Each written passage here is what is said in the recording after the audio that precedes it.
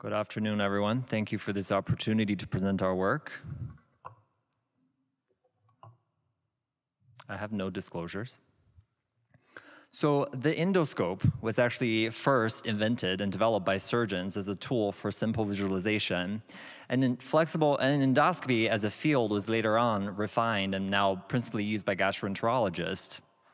Uh, but with that being said, uh, there's increasing need for minimally invasive technique to manage a wide range of surgical problems. Flexible endoscopy remains a vital tool for surgeons.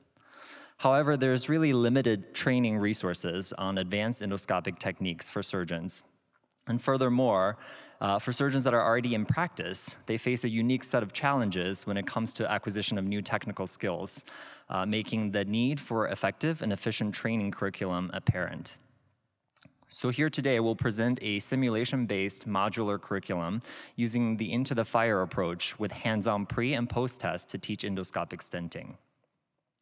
So I want to elaborate a little more on this into the fire approach. Rather than the traditional method of didactic lecture followed by simulation and post-test, the into the fire approach begins with the hands-on portion, where the participant is asked to perform the simulated task or procedure prior to any formal instructions.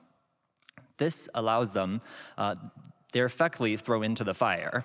Uh, this is then followed by didactic content, mentored hands-on practice, and eventually post-tests to assess their learning. Now, taking a step back, we can see how some of these learning theories actually can be applied to the into the fire approach. Based on the principle of constructivism, both inquiry-based learning and guided discovery learning encourage the learner to actually explore the subject matter prior to giving instru given instructions and really allow them to participate in the discovery of their new knowledge. By having the uh, participants perform the simulated tasks first, they're able to construct a framework within which their knowledge and skills are later on contextualized, which allowed to uh, more engaged learning. And based on our experience using this approach, we actually found the course instructors actually also benefited in that they're able to assess the learner's skill level at baseline and identify any potential deficiencies, which allowed them to uh, create better tailored instructions during the didactic portion of the curriculum. And we previously published and demonstrated the effectiveness of this into the fire approach in uh, implementing simulation curricula in teaching management of operating room fires, as well as teaching procedures like POEM or POP, as well as the use of EndoFlip to practicing endoscopists. So using the same approach, we implemented three advanced flex flexible endoscopy courses from 2018 to 2019 for practicing surgeons. And these courses are taught by expert surgical endoscopists, some of whom are actually members of the SAGES FlexEndo committee. These courses had multiple mo uh, modules with various advanced endoscopic techniques, but for my talk, specifically we're talking about the stenting module, which used a non-tissue model as well as ex vivo porcine model to perform simulated task of stenting of esophageal stricture and gastroduodenal outlet obstruction using a self-expanding stent. The assessment were made using a multiple choice knowledge based written exam, a confidence survey, as well as hands on assessment using the Modified Objective Structured Assessment of Technical Skills, which is OSATS, and Modified Global Assessment of Gastrointestinal Endoscopic Skills, or GAGES. More specifically, in our initial experience with the first two earlier courses, uh, we used the modified OSATs to evaluate technical skills. And the main parts that were modified were handling of scope and accessories, which was from instrument handling, as well as care for tissue, which was modified from respect for tissue. In our most recent course, we actually used the well-validated GAGES assessment tool, including and made it specific to endoscopic stenting, including, sorry, can I go back? Including uh, items such as measuring and marking the length of stenosis, stent deployment, and removal. So looking at the results, we had a total of 28 practicing surgeons who participated in the curriculum. And they had varied background and experiences with a mean practice years of six, most of whom are FLS and FES certified. The majority had performed over 100 uh, upper endoscopies. Uh, and you can see here, most of the participants had extensive laparoscopic experiences. So looking at the result from the earlier courses using modified OSATs, we found that there is significant improvement in the written test score as well as confidence survey from pre-test to post-test.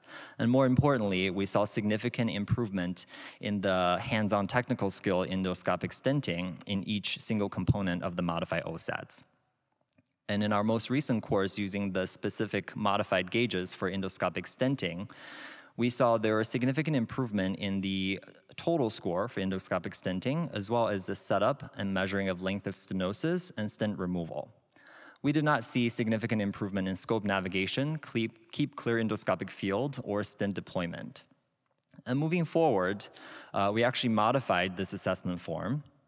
So we combined the scope navigation and clear endoscopic field into a single item we felt that it was important to keep at least one item that represented general and basic endoscopic uh, skills in the final uh, evaluation form. And this uh, item setup and measuring of length of stenosis was expanded into two separate items, which included equipment setup and measuring and marking the length of stenosis. And lastly, looking at the Cronbach's Alpha for these modules, which is a measure of internal consistency or how closely these items are related to each other, we found that the modified GAGES actually perform slightly better on post-test compared to the modified OSATs. So our study is limited by the relatively small number of participants, as well as the single technique used for endoscopic stenting. With, so, with the limited data, we actually used two different assessment forms, which posed another limitation. And lastly, with evaluator bias as a potential limitation, because we had different evaluators for these different courses for the module. So in conclusion, we found that our module, modular simulation curriculum is effective in improving participant knowledge, confidence, and hands-on technical skills in endoscopic stenting and that our into the fire approach to simulation is helpful for practicing providers with varying prior experiences in the acquisition of new technical skills. And lastly, our simulation model and curriculum can be easily adopted by other institutions to create or add to existing flex endo training curriculum for surgical trainees and practicing surgeons. Thank you.